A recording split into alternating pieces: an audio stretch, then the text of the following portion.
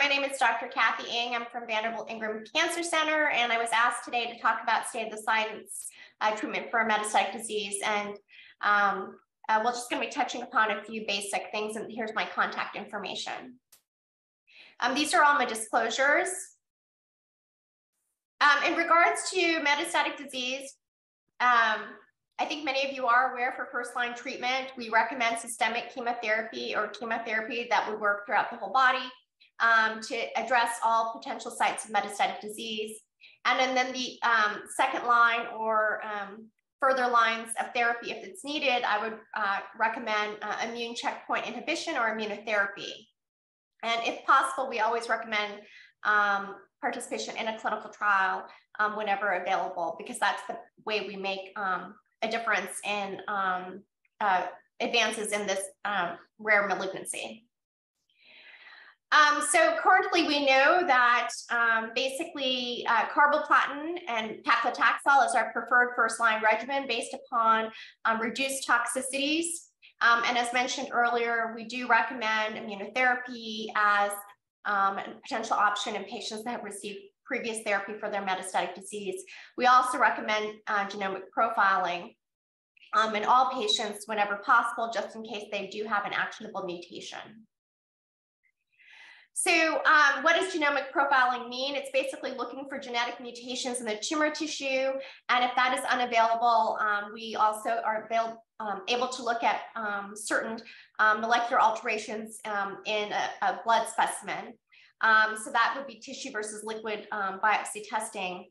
Um, the reason this is extremely important is ideally we would like to have tumor tissue in order to look for potential alterations um, because with tumor tissue we do um, have multiple companies which have various panels and that can also look at also um, not only just at mutations but amplification um, and other uh, ways that we could potentially target the tissue. It also gives you many more options than just a blood sample.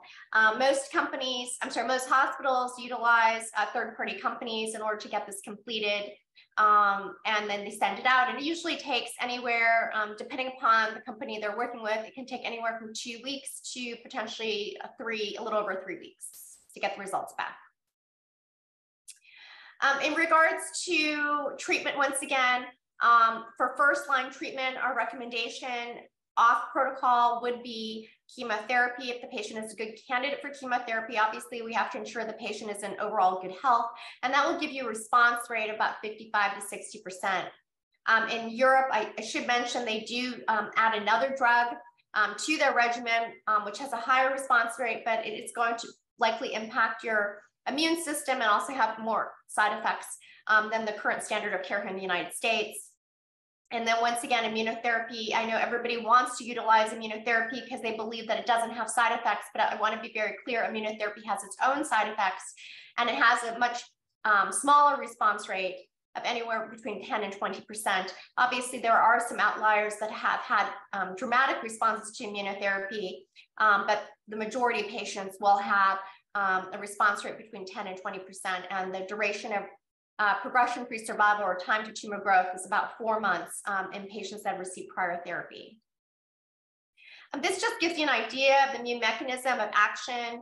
So on the left is what's called um, basically uh, immune checkpoint inhibition, where basically on your T cells, you have your program death ligand, um, I'm sorry, your PD-L1 or your program death ligand 1 on the tumor cell, which one would then um, attach um, with your T cell. Um, and basically this prohibits your uh, immune system from uh, destroying the tumor cell. But with the use of immune checkpoint inhibition or anti-program death one uh, therapy or anti-PD-L1 therapy, depending on which kind of drug you're utilizing, this allows um, this to um, uh, your immune system to actually attack the tumor cell and be more um, proactive. Uh, CTLA4 is a bit more complicated, um, and that would be like ipilimumab, which is a prime example.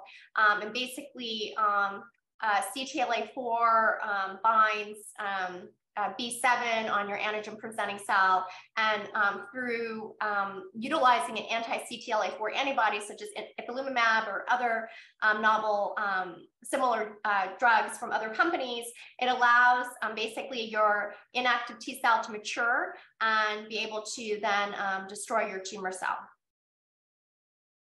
So here are the existing immunotherapy agents. Many of you are clearly familiar with nivolumab and pembrolizumab. Those have been around um, since 2017, 2018. Um, and then retifanlimab um, was also evaluated in the metastatic setting as well with very similar response rate of about 10%.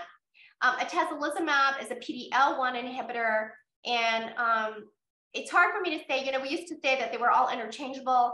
I'm not exactly sure um, what this means, um, but at, at atezolizumab, sorry, had two negative trials in um, metastatic squamous cell carcinoma of the anal canal based upon a, a pilot phase uh, two study at MD Anderson, as well as the phase three trial, which I'm going to show you. So what about adoptive T cell therapy? Um, this is really just a um, very unique approach, really kind of taking into account um, how can we utilize our immune system and optimize it and basically, we take T cells from the patient. Um, these T cell therapies vary depending upon um, the target and obviously the company, and they, it, takes a while for these T cells to grow in the lab. Um, it can be anywhere from um, you know several weeks to in, in, in originally when this started out several months. Um, I think now this, the system and the way that they capture these T cells um, is much more, uh, it's quicker and um, much more efficient and obviously not every patient wants to wait so long. Um, but basically then they grow these CAR T cells um, in the lab and then they fuse it back into the patient and the hopes that basically these um, re-engineered T cells are more effective um, to kill the cancer cells.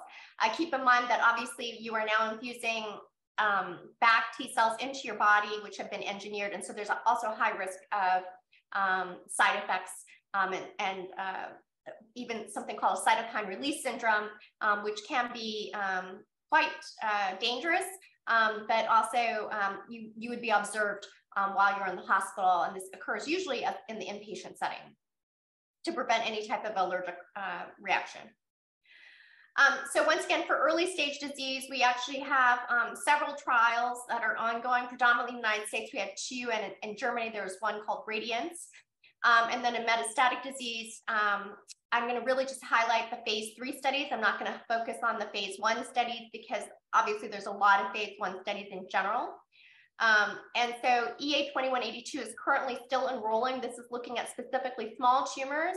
So T1 or T2 tumors, so tumors that are less than two centimeters, no negative, and patients are randomized in a two to one randomization to the potential of receiving less radiation. So you'll have less toxicities and also only receiving one dose of mitomycin. So as you can guess, with higher doses of radiation therapy, you're also more prone to having more side effects from your radiation treatment, um, such as um, radiation fibrosis, uh, vaginal fibrosis, um, uh, radiation dermatitis, um, uh, bowel issues, um, uh, uh, genital urinary issues as well um, and um, sexual dysfunction, etc. And mitomycin causes significant myelosuppression or significantly impacts your white blood cell count. Um, so more often than not, we do not end up giving the second dose of mitomycin because most patients' immune system has been compromised and their immune system has not been um, regenerated enough white blood cells in order to be able to maintain the last dose. So it is very common that we withhold the second dose of mitomycin um, because the patient's white blood cell count is inadequate um, at the end of the radiation treatment. Um, more importantly, I think for any patient, regardless if you participate in a clinical trial or not, um, it's extremely important to stay on the schedule for your radiation treatment. Do not have any significant dose delays um, because that actually reduces your risk of benefit from treatment. Um, EA2176 is our phase three trial for newly diagnosed metastatic patients. This is largely based upon uh, prior work um, that also was completed at MD Anderson um, um, when I was there looking at the role of carboplatin and weekly paclitaxel, but also um, the role of nivolumab, which I pre previously published on um, in Lancet Oncology in the metastatic refractory setting. So now here's a trial combining um, chemotherapy plus immunotherapy um, with the intent of basically um, continuing on the immunotherapy after receiving um, six months of uh, uh, chemotherapy um, as a maintenance regimen. And this is a two to one randomization um, for the possibility of receiving immunotherapy. And then the control arm is standard uh, chemotherapy. So there is um, both arms are a win-win. The patient does not lose out on anything. Um, this trial is the first phase three trial um, to be supported by the NCI. And also it was actually the first phase three trial uh, open initially. There is a competing pharma sponsored study um, that's largely um, being completed in the UK with a one-to-one randomization. So once again, here's a two to one randomization um, that to increase your likelihood of ending up in the investigational arm with nivolumab. And in addition to that, um, we are collecting HPV circulating tumor DNA because data suggested in um, early stage disease as well as metastatic disease that clearance of HPV circulating tumor DNA um, is associated with response to therapy as well as um, overall survival um, and uh, uh, disease-free survival, sorry, progression-free survival or disease-free depending upon which setting you were looking at, whether it's earlier disease. As a result, we have incorporated into our phase three trial in the hopes that this will now be considered a standard of care, um, not only for this regimen in general, um, but as well as for the HPV circulating tumor DNA. So what are the pending trials? Um, EA2165 is a very important study. It's for patients with large tumors or node positive disease um, after the completion of their chemoradiation therapy. Once again, this is a non-metastatic setting.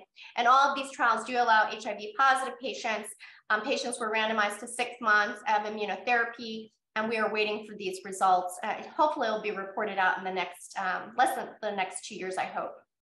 Um, 9673 is an extension of my original uh, trial with nivolumab in the um, setting for patients that have received prior therapy for metastatic disease. This um, was a one-on-one randomization also with the addition of ipilimumab, so the CTLA-4 inhibitor.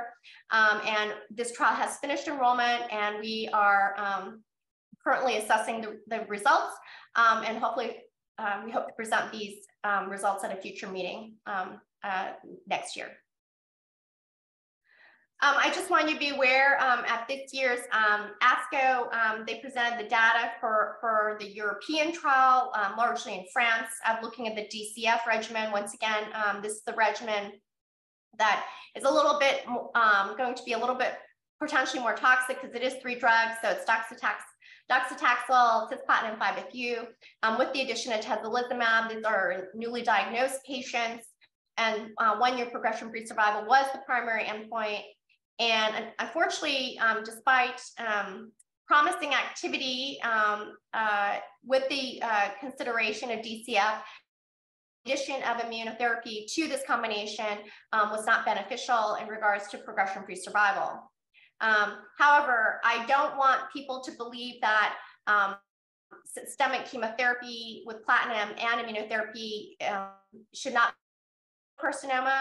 I think that trial is an outlier and um, we are still waiting for the final results of that trial to be published. Um, please keep in mind in uh, non-small cell lung carcinoma, and here I show you the squamous cell patients on the left, as well as in cervical cancer. Um, we utilize systemic chemotherapy with platinum and immunotherapy as a standard of care for these patients. Um, and so that is the reason um, you know, we wrote the trial for anal carcinoma several years ago, and we were just um, waiting for the original results of InterAACT to be published, establishing the backbone of carboplatin and we are also a much um, a rarer cancer relative to lung cancer and cervical cancer. So obviously enrollment takes a little bit longer, but we hope to establish um, this combination is a standard of care uh, relative um, to other malignancies as well. Um, so um, hopefully you will participate in EA 2176. Um, gaps in knowledge, um, obviously, more importantly, still there's a lot of um, uh, misdiagnosis and a lack of education. Um, it's not always a hemorrhoid. Obviously, if it doesn't go away, you should have it evaluated. I hear this all the time. And obviously, we, are trying to reduce our toxicities with um, uh, re reduced exposure with chemotherapy and radiation therapy, as in the decreased trial. Um, and we obviously need to now think about treatment options for tumors who have progressed following immunotherapy. There's currently no standard of care in that setting. Um, and once again, we highly, highly, highly encourage all anal cancer patients to enroll to clinical trials. That's the way we make advances in this um, disease. And we need to continue to try to advocate for ourselves as investigators and for the patients um, to have pharma companies develop interest in um, anal carcinoma. It is an HPV associated malignancy. It's a very common um, uh, um, malignancy around the world, probably less than a little less than 30,000 cases, but still it is a common malignancy. And also any breakthroughs in HPV um, associated anal cancer um, can help um, make advances in both head and neck and cervical cancer. So um, last but not least, I'd like to thank and acknowledge um, Michelle Longabaugh, who is a nurse.